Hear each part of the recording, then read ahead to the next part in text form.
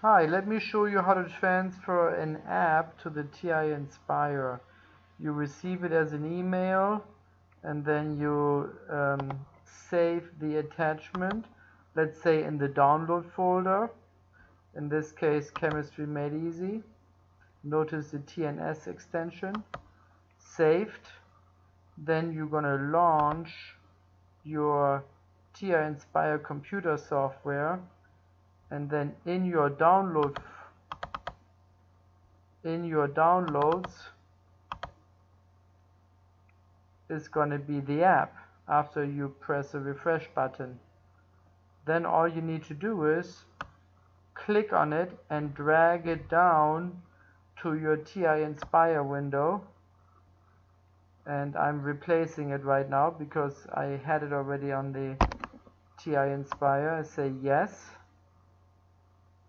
and this is what it looks like once it transferred. And to finish up I'd just like to show you the uh, screen on my calculator. First the calculator automatically recognizes and displays uh, that uh, an app was transferred.